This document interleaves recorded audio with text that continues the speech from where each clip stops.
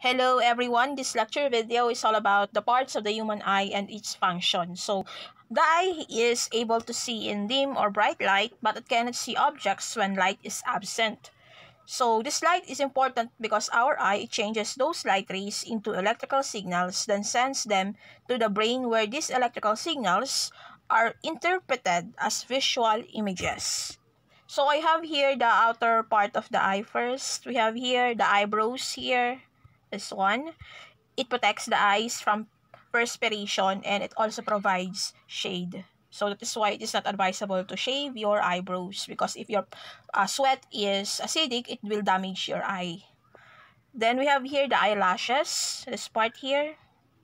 That one, eyelashes. The eyelashes protects the eye from debris, dust, and small particles. Then we also have here the eyelids. The eyelids protects the eye. It spreads the tear film evenly across the surface as it closes. So it is important because the fluid in our eyes must be kept moist. So they spread that liquid evenly throughout the surface of the eye. And it also keeps the cornea from drying out when we are asleep aside from blocking the light. Let us proceed on the human parts of the eye in detail. We have here first the cornea. The cornea is a transparent outer membrane which forms the eyeball's coating. This is the cornea here. It serves as the window of the eye, and together with the lens, it bends light rays that enter the eye and focuses the rays to form an image in the retina. So it does most of the focusing rays. And then we have here the lens. The lens is here. The lens is a jelly-like assemble of tiny transparent fibers. It bends light rays that enters the eye with the help of the cornea. And if the cornea does the focusing of rays, it does the fine focusing of rays or the more sharpening of the rays or light rays. Then we have here, next, is the iris. It's located in front of the lens. This is your iris. That is located in front of the lens. It is the colored part of the eye. And it controls the size of the pupil. So this iris is made up of two different muscle fibers that controls the size and the opening of the pupil. Next, we have here the pupil. This one. This is the pupil. And if you will look on this part, this is the pupil part. The pupil allows the light to pass into the eyes from the aqueous humor to the lens. So where is the aqueous humor? The aqueous humor is being produced here in the ciliary muscle. So it allows the light to pass through on that. Then it also opens and closes to control light entering so as not to damage the retina. If the light is too bright, it uh, makes the opening small. It dilates the opening. But if the source of the light is too dim or too dark, it is too dark, the pupil enlarges. Next, we have here the ciliary muscle. As I have pointed out here, this is the ciliary muscle.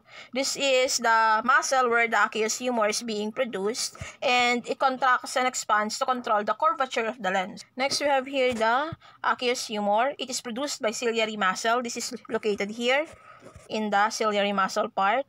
It provides nourishment to the front parts of the eye. So there are instances that the outer part of the eye must be nourished with proteins, especially with collagen. And also, since the eyes here, the part of our eye has a very, limited uh, blood supply. So it also helps in providing the oxygen in our eye.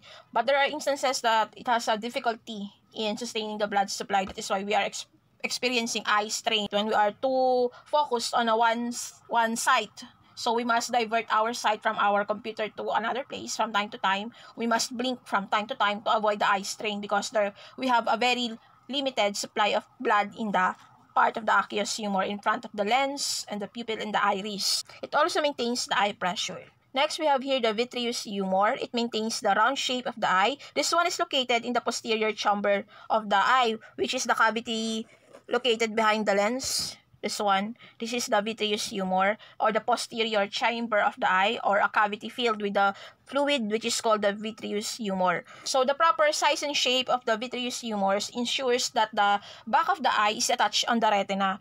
There are instances that the size and shape of the vitreous humor is irregular. So when that happens, there is a detachment that happens, detach detachment of the back of the eye in the retina. So when that happens, we must perform a cryosurgery to attach, to reattach the back parts of the eye.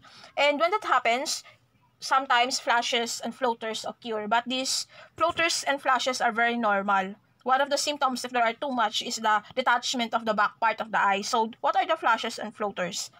So, these are the floaters that you see when you are in a bright light and you suddenly close your eyes when you're watching a TV. These are the floaters. So, what are these? These are small flecks of protein called collagen.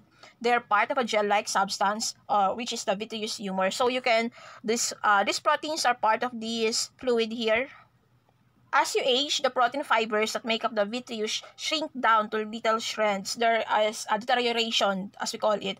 When that happens, the shreds that clump together, they will clump together and the shadows they cast on your retina are floaters. Or this one, these are the floaters. So, if you see a flash, it's because the vitreous has pulled away from the retina. Next, we have here the sclera. This is the sclera, the white part of the eye. It is fibrous and provides support for the eyeball, helping it to keep its shape. So, next, we have here the conjunctiva. It is a thin, transparent membrane that covers most of the white of the eye and the inside of the eyelids. It helps lubricate the eye and protect it from microbes. So, this is the conjunctiva located. We have two types of that, palpebral conjunctiva located in the upper part, and we have here the bulbar conjunctiva located here both of that supports the or protects the white part of the eye and also the insides of the eyelids. Next, we have here the retina. The retina is located behind the liquid filled cavity. This is the location of the retina. This one. This is located here. The retina serves as a screen where the image is formed. It is like a whiteboard in which the image from the projector is being projected. So it contains tiny nerve cells called rods and cones that are sensitive to light. So the cones are responsible for vision in bright conditions and the rods are responsible for vision in dim conditions.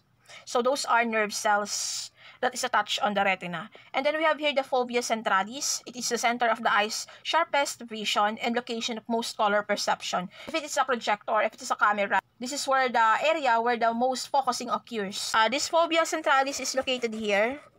Let me show you the fovea centralis, the yellow part here. Optic nerve. The optic nerve is the pathway that the light rays take from the retina to the processing center of the brain. So, from the retina, this is, let's say this is your retina. Let me use a graphic for that. Okay, here. This is your retina, this one, and this is the optic nerve, and it connects to the brain. That is how the light rays is being translated into electrical signals, and then that electrical signals will be delivered in the brain through the optic nerve to form a visual image. So that is all for the parts of the human eyes and its functions.